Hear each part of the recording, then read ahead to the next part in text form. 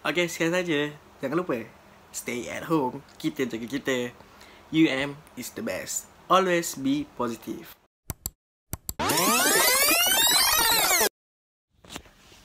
Hi guys.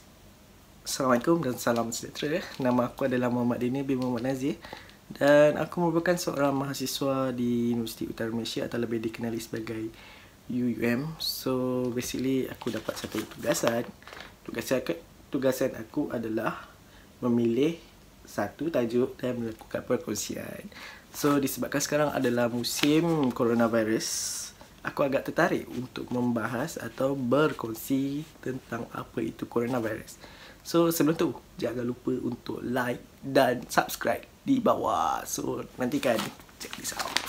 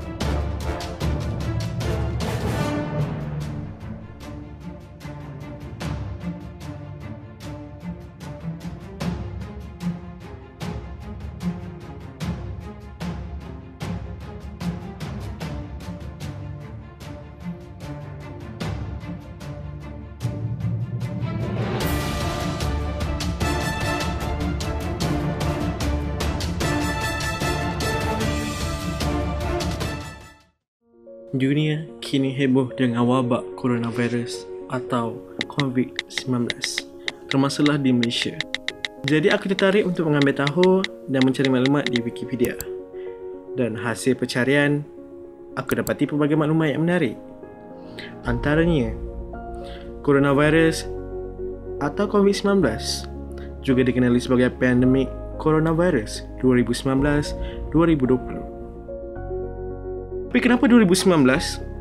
Hal ini kerana ia mulai dikesan di Wuhan, Hubei, China sekitar pertengahan Disember 2019. Sekurang-kurangnya sebanyak 180 negara dan wilayah telah terlibat dalam penularan COVID-19 dan lebih 100 juta orang telah menjadi mangsa COVID-19 termasuklah di Malaysia. Virus ini kebanyakan menular kepada seseorang melalui titisan pernafasan daripada batuk dan bersin. Ia serupa seperti penyakit influenza. Sekitar 2 sehingga 14 hari masa yang diambil bagi permulaan gejala penyakit coronavirus ini. Antara simptom gejala umum yang telah digariskan oleh WHO World Health Organization berkaitan dengan coronavirus ini demam, batuk, bersin atau sukar bernafas. Terdapat beberapa cara pencegahan yang boleh kita ambil. Antaranya adalah membasuh tangan dengan betul menggunakan sabun atau hand sanitizer, mengikuti langkah pencegahan atau etika ketika batuk dan bersin. Tidak perlu bersalaman, hanya meletakkan tangan di dada dan ucaplah salam.